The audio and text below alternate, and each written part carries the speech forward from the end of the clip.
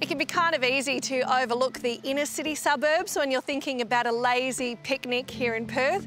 But the good thing is about this city, you don't need to go that far to find somewhere suitably lush and green to relax in, which is why today I'm headed for Subi. And you know the best thing about a picnic in Subiaco? It's all the fun you can have loading up your bag with tasty treats on your way there. With its long stretches of freshly rejuvenated and shaded park areas, Subiaco has plenty of spaces to relax. And just a short stroll away, you'll find everything you need to craft an indulgent Epicurean picnic made up of the best local and imported delicacies. So here's what I'm thinking. We'll grab some cheeses, maybe some baked treats and artisanal snacks, and how about a splash of wine to wash it all down? Are you ready?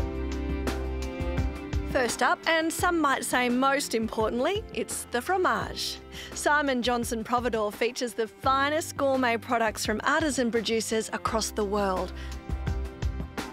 Might pop a little something sweet in there too.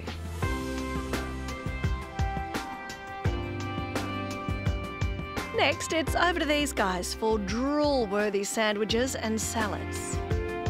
Urban Soul Foods is a brainchild of me and my wife. Uh, we've both been cooking for 30 plus years.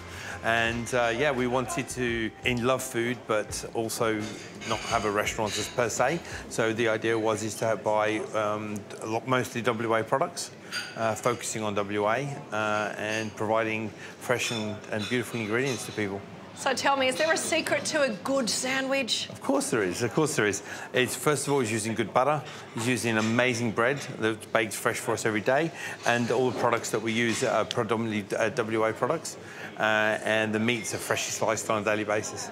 And what do you recommend I could take away with me for my picnic in the park? Absolutely. So what we've got here is I've got some, some West Australian octopus, some West Australian olives, some cucumbers that we've pickled ourselves, some nulakai from down near um, Denmark, salamis and, and ham from Margaret River Farmhouse, and croutons that we've made from making bread from risen flour. So it's all, all WA. Looks good.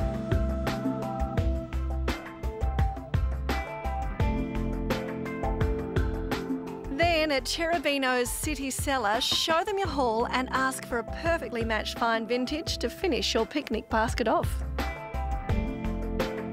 If you're looking for a guaranteed sanctuary to come and enjoy your gourmet picnic creation, then check out this place, Subiaco Common.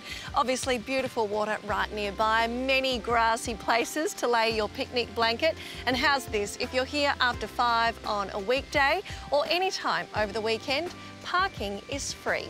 I reckon that deserves a drink and maybe a nibble from my gourmet picnic, don't you?